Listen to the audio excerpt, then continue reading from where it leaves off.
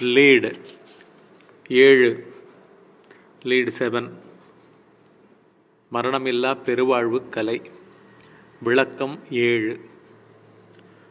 The art of deathless eternal living explanation seven தமிழ்னோடது இது. திரு செல்லபாண்டியன் அவர்களுடைய ரெண்டாவது செட் ஆஃப் கேள்விகளில் மூணாவது கேள்வி ஒன்று பாக்கி இருக்குது அவர் போன மொ- அந்த முதல் குரு அவர் பேரையும் குறிப்பிட்டிருக்கார். அவர் அவருடைய அந்த கேள்வி ஒன்று பாக்கி இருக்குது அதை வந்து இப்போ வந்து விளக்கத்தோடு நம்ம பார்ப்போம் ஏன்னா வந்து உலகத்தில் மீதி சப்ஜெக்ட்ஸ் நீங்கள் என்ன ஆப்ஜெக்டிவ் கோர்ஸ் எப்பேற்பட்ட விஞ்ஞானம்? ராக்கெட் சயின்ஸில் கூட வந்து ஒரு ஒரு ஜ- ஒரு குட்டி டவுட்டெல்லாம் நீங்கள் விட்டு வைக்கலாம். ஆனால் ஆன்ம ஞானத்தில் ஏன்னா நம்ம பற்றி எது? அதில் வந்து எந்த விதமான சந்தேகமோ குழப்பமோ ஒன்றை பெரிதாக நினைத்து கொள்ளுதலோ அனாவசியமான வார்த்தை பிரயோகங்களோ எண்ணங்களே சவுண்டே இருக்கக்கூடாதுங்க மனசில். ஒலியாக வந்து ஒரே தாட்ஸ் இருக்க வேண்டிய அவசியம் இல்லை. அவ்வளோதான் ஸோ அதனால் ரொம்ப கிளியராக இருக்கணும். இந்த சசங்கத்தை வந்து இந்த இவர் செல்லப்பண்ணின் அவர்களுடைய இந்த மூன்றாவது கேள்வியினுடைய அந்த இதை வந்து கடைசி வரைக்கும் கேளுங்க. அப்போ தான் இது வந்து பிரயோஜனப்படும். ஏன்னா உங்களுக்கு வந்து டுவெண்ட்டி ஃபோர் பை செவன் வாழ்க்கை இது. நம்ம வந்து சும்மா பேசலை. நம்ம வாழ்ந்துக்கிட்டு இருக்கோம் அதையே தான் கம்யூனிகேட் பண்ணிக்கிட்டு இருக்கோம். சரிங்களா? அதனால் கடைசி வரைக்கும் கேளுங்க. இது வந்து விளக்கம் ஏழு லீடினுடைய விளக்கம் ஏழு. நல்லது. என் பேர் செல்லப்பாண்டியன். நான் ஐஐடி மெட்ராஸில் வந்து ஒரு இன்ஜினியராக ஒர்க் பண்ணுறேன் நான் வந்து பியூர் வெஜிடேரியன் கிட்டத்தட்ட ஒரு நாற்பத்தி நாலு வயசாகுதுங்க. பல வருஷமாக வந்து இறை தேடலில் அந்த ஆன்மீக பயிற்சிகள் முயற்சிகள் அதில் ஈடுபட்டு வர்றேன். எனக்கு உங்களுடைய இது வந்து கிட்டத்தட்ட ஒரு ஒன்றரை வருஷமாக நான் எனக்கு வந்து நான் பார்த்துக்கிட்டு இருக்கேன் ஒன்றரை வருஷமாக எனக்கு வந்து கொஞ்சம் கொஞ்சம் தெரியும். உங்கள் உங்கள் நீங்கள் போட்ட யூடியூப் வீடியோ கொஞ்சம் கொஞ்சம் அந்த சத்சங் சில சில இதை கேட்டிருக்கேன். ரொம்ப கேட்டது இல்லைங்கய்யா அப்புறம் வந்து இந்த இதில் வந்து ஒரு சின்ன சின்ன சந்தேகங்கள். நான் வந்து இதை வந்து கேள்வியாக கேட்க முடியாது. நான் எனக்கு தெரிஞ்சதை சொல்லிடுறேன். அப்போ எனக்கு என்ன வேணுங்கிறது உங்களுக்கு தெரியும். ஏன்னா இதில் கேள்வியை கேட்டால் நிறையா ஒரு சில இது வருது.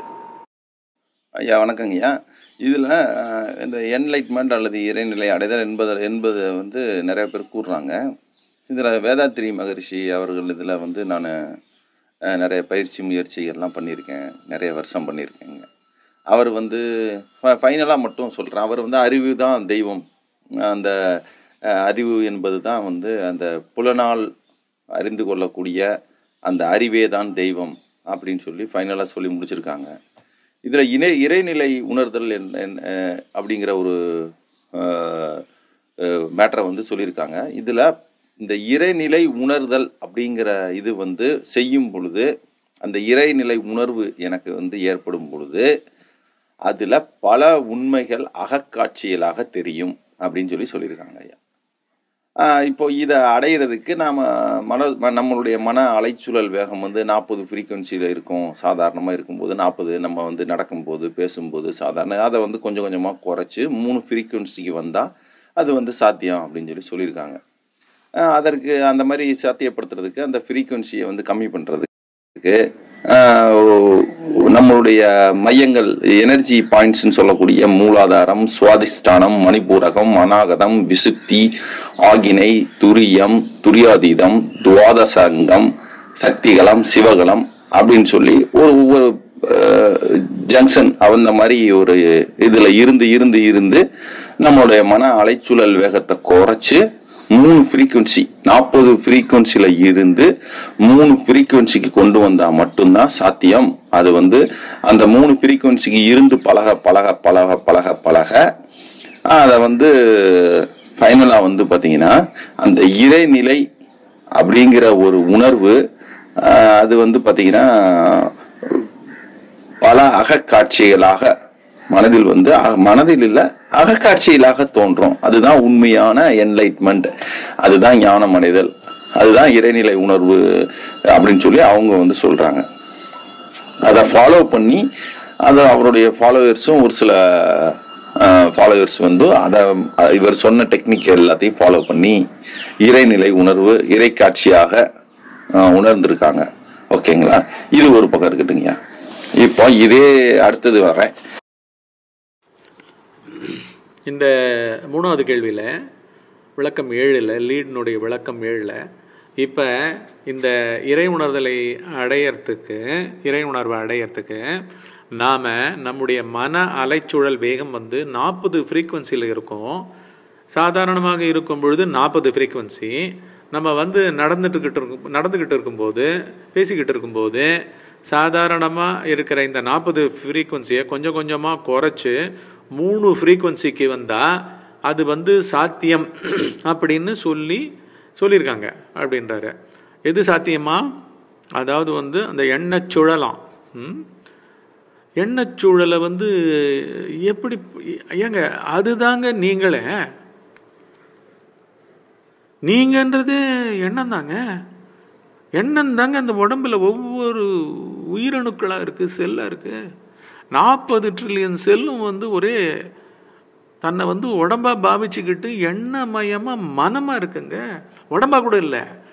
ஆனால் அந்த உடம்பா இருக்கிறத ஃபுல்லாக தானாக அந்த உடம்ப நினைக்க வைக்கிறது வந்து எண்ணம்.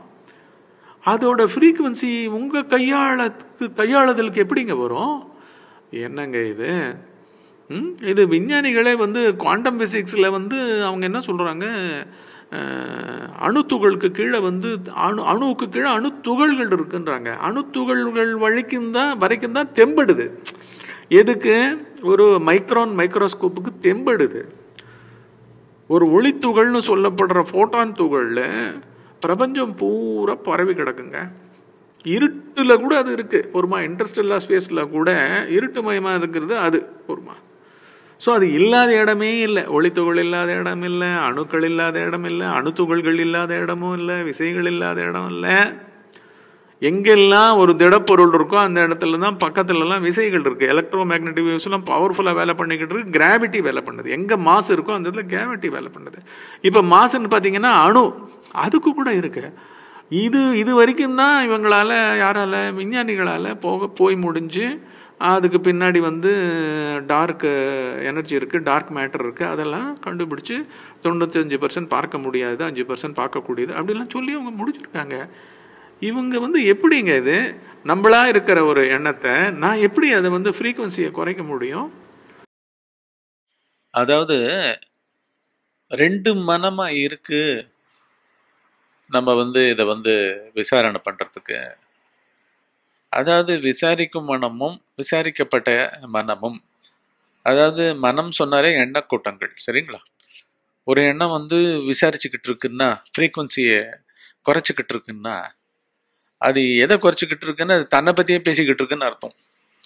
ஒரு எண்ணம் தானே வேகமாக பேசிக்கிட்டு தானே பல சூழல்களாக இருந்துக்கிட்டு தானே தன்னுடைய சூழல்களை குறைக்க நினைக்குதுன்னு அர்த்தம். எப்படி ஒரே பொருள் வந்து ஒரே சமயத்தில் தன்னைத்தானே ஜட்ஜ் பண்ண முடியும் எதிரிட்டு ஜட்ஜ் பண்ண முடியும். இங்கே ஒரு கை ஓசை மாதிரி தான் நம்மளுடைய யோசனைகளே நடந்துட்டு இருக்குன்றது அடிப்படை மனத்தினுடைய விஞ்ஞான உண்மை. விஞ்ஞான உண்மைங்க இது. ரெண்டு எண்ணம் ஒரு சமயத்தில் இல்லைங்க. அவ்வளோ ஸ்விஃப்டாக நடக்குது. வேக வேகமாக யோசிக்கிறோம் நம்ம. ம்? ஆனா அந்த வேகமா யோசிக்கும் போது வேற ஒரு எண்ணம் தான் ஒரு மனம் தான் ரெண்டு மனம் இல்லை. திருத்தப்பட்ட திருத்துவதற்கு ஒரு மனம் எதிரிட்டு இல்ல. திருத்துகின்ற மனம்னு இங்க உட்காந்துக்கிட்டு அதை திருத்திக்கிட்டு இன்னொரு மனம் இல்லை. இன்னொரு எண்ணம் இல்லை. இதெல்லாம் அடிப்படை விஞ்ஞானங்க. எப்படி? சரி மேற்கொண்டு படிப்போம். அதற்கு அதை என்ன சொல்கிறாங்க கொஞ்சம் கொஞ்சமாக சாதாரணமாக இருக்கிற நாற்பது ஃப்ரீக்குவன்சியை கொஞ்சம் கொஞ்சமாக குறைச்சி மூணு ஃப்ரீக்குவன்சிக்கு வந்தால் அது வந்து சாத்தியம் அப்படின்னு சொல்லியிருக்காங்க. எது? இறை உணர்தல. சரிங்களா? அந்த இறை உணர்வை. அதுதான் இது இப்போ அவங்க போகிற வழியை சொல்லி கொடுத்துட்ருக்காங்க. அதாவது என்னமோ ஃப்ரீக்குவன்சிலாம் நீங்கள் வந்து ஒரு ஒரு நாப் இருக்கா மாதிரியும் அதை வச்சு அப்படியே அட்ஜஸ்ட் பண்ணுற மாதிரியும் புரியுதுங்களா? ஃபேனில் வந்து ஒரு நாலு இருக்குது இல்லைங்களா? பட்டன்ஸு அந்த மாதிரி. இந்த டேபிள் ஃபேனில் பெடஸ்டல் ஃபேன்லாம் அந்த மாதிரி டக்கு டக்குன்னு அழுத்தி போடுற மாதிரி ஃப்ரீக்குவன்சியை அப்படின்னா நடக்கும்போது பேசும்போதெல்லாம் நாற்பது இருக்குது அது மூணு ஃப்ரீக்குவன்சி ஆக்கிறது தான் அதுக்கப்புறம் அந்த மாதிரி சாத்தியப்படுத்துறதுக்கு அந்த ஃப்ரீக்குவன்சியை வந்து கம்மி பண்ணுறதுக்கு நம்மளுடைய மையங்கள் எனர்ஜி பாயிண்ட்ஸ் சரியா? அப்படின்னு சொல்லக்கூடிய மூலாதாரம் சுவாதிஷ்டானம் மணிப்பூரகம் அநாகதம் விசுத்தி ஆக்கினை ஆக்ஞா சக்கரம் துரியம் துரியாதீதம் துவாதசாந்தம் சக்திகளம் சிவகளம் அப்படின்னு சொல்லி ஜங்ஷன் அந்த மாதிரி ஜங்ஷன் அந்த மாதிரி ஒரு இதில் இருந்து இருந்து இருந்து நம்முடைய மன அலைச்சுழல் வேகத்தை குறைச்சி மூணு ஃப்ரீக்குவன்சி நாற்பது ஃப்ரீக்குவென்சிலேருந்து மூணு ஃப்ரீக்குவன்சிக்கு கொண்டு வந்தால் மட்டும்தான் சாத்தியம். அது வந்து அந்த மூன்று ஃப்ரீக்குவென்சியில் இருந்து பழக பழக பழக அது வந்து ஃபைனலாக பார்த்தீங்கன்னா அந்த இறைநிலை அப்படிங்கிற ஒரு உணர்வு அது வந்து பார்த்தீங்கன்னா பல அகக்காட்சிகளாக மனதில் வந்து மனதில் இல்லை அகக்காட்சிகளாக தோன்றும். இது என்ன மனம் வேற அகம் வேறையா? என்னங்க இது? பௌதிக விஞ்ஞானத்துலேயாவது வந்து பௌதிக விஞ்ஞானிகள் குவாண்டம் ஃபிசிசிஸ்ட்டு அவங்க கண்டுபிடிச்சிருக்கிறது என்னன்னு பார்த்தீங்கன்னா முதல்ல வந்து டார்க் எனர்ஜி இதெல்லாம் நம்ம உடம்புக்குள்ளேயே இருக்குங்க. பொறுமா? விழிப்பு நிலையில் நான் உணர்ச்சி மூலமாக மனம் மூலமாக தன்னை அந்த உடலோட பிணைச்சிக்கிட்டு இருக்கிற அந்த நான் எப்படி உருவாயிருக்குன்றத அதனுடைய பௌதீக பௌதீக அடிப்படை. விழிப்பு நிலையில தானே நம்ம உடம்பு. ஆழ்ந்த வர்க்கத்தில் ஒன்றுமே இல்லையே.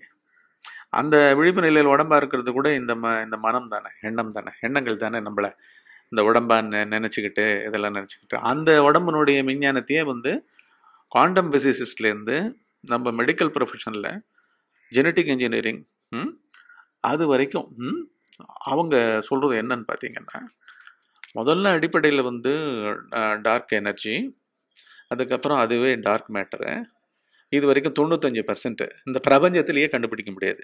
இவங்களாலே கண்டுபிடிக்க முடியல. சரிங்களா? ஓகே அதுக்கப்புறம் வந்து இது தான் வந்து விசைகளாக இருக்குது என்னென்ன விசைகள்? புவியீர்ப்பு விசை மென்காந்த அலை அதுக்கப்புறம் ஒரு ஆட்டமில் இருக்கிற ஸ்ட்ராங் நியூக்ளியர் ஃபோர்ஸஸ்ஸு அதே ஆட்டமில் இருக்கிற வீக் நியூக்ளியர் ஃபோர்ஸஸ் வீக்னா என்ன? நெகட்டிவ் சார்ஜை வச்சுக்கிட்டு இருக்கு. ப்ளஸ் அந்த நியூக்ளியஸை சுற்றி இருக்கிற குவார்க்ஸு லெப்டாட்ஸ்ன்னு சொல்லப்படுற அணு துகள்கள் சரிங்களா? அணு கூட இல்லை இப்போ ஸோ அதுக்கு அடுத்தது இவைகளாக சேர்ந்தது அணு அப்படின்றாங்க சரிங்களா இந்த அணுக்கள் வந்து ரெண்டு ரெண்டு சேர்ந்ததுனாலே அது வந்து உயிரற்ற மாலிக்யூல் ஆகும் உயிர்கூறாகும் அதாவது ஜட உயிர்க்கூறுகளாகவும் உயிரினத்தை சேர்ந்த உயிர்க்கூறுகளாகவும் மாறுகின்றது. மாலிக்யூல்னாலே வந்து உயிர்க்கூறு ம் சரிங்களா? கூறு. அதை பிரித்தா அதாவது ஒரு உயிர்ன்ற இது வந்து ஒளி எப்படி வருது அப்படின்னு பார்த்தா அது வந்து மாலிக்யூல்னால வருது. உயிர் உள்ளவைகளுக்கும் வருது உயிரற்றவைகளுக்கும் வருது.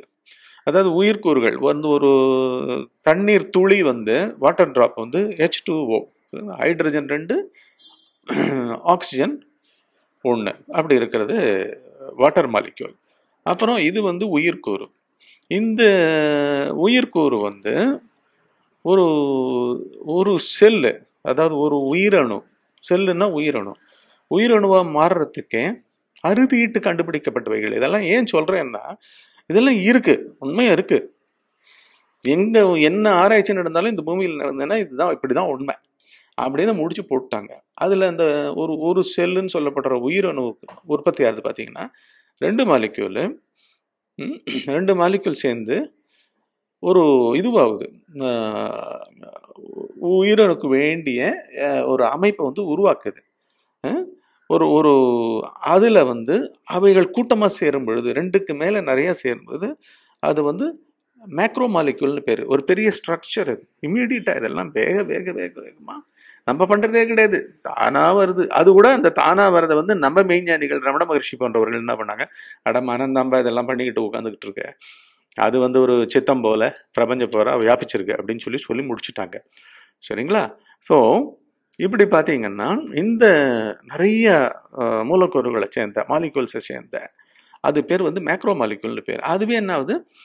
அவயவங்களை உண்டு பண்ணிக்குது. ஒரு ஒரு ஒரு உயிரணுக்குள்ள கண்ணு காது மூக்கு இது எல்லாம் இருக்குங்க. கம்ப்ளீட்டு. ஒரு மனுஷன் இருக்காங்க.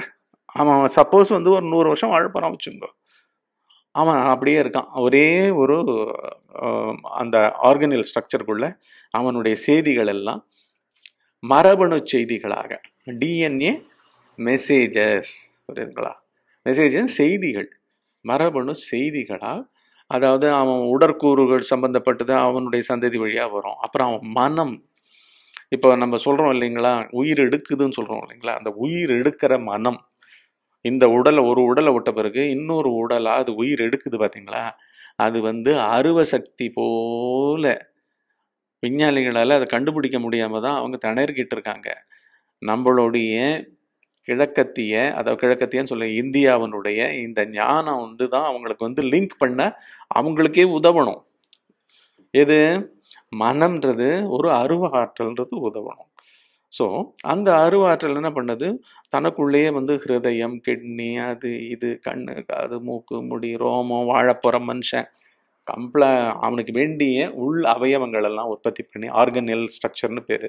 அதுக்கப்புறம் அதுதான் வந்து அடுத்ததாக வந்து ஒரு உயிரணுவாகவே மாறுது. ஒரு உயிரணு கிடுகிடு கிடு கிடு கிடு கிடுன்னு பாப்புலேட் பண்ணி தன்னை தானே வி- விரிச்சுக்கிட்டு பெரிய வந்து ஒரு மனித குழந்தையாக உருவாருது இல்லாட்டி வேறு எது ஏதானோ பிராணிகள் வர்க்கமும் இதே கதை தான் எல்லாம் இதே கதை தான் ஒன்று ஜட மூலக்கூறுகள் மாலிக்யூல்ஸு இல்லாட்டி உயிரின மூலக்கூறுகள். ரெண்டுமே வித்தியாசம் கிடையாது மனத்தை பொறுத்த வரைக்கும். மனம்தான் பிரபஞ்சமாகவும் இருக்குது ஜட பிரபஞ்சமாகவும் இருக்குது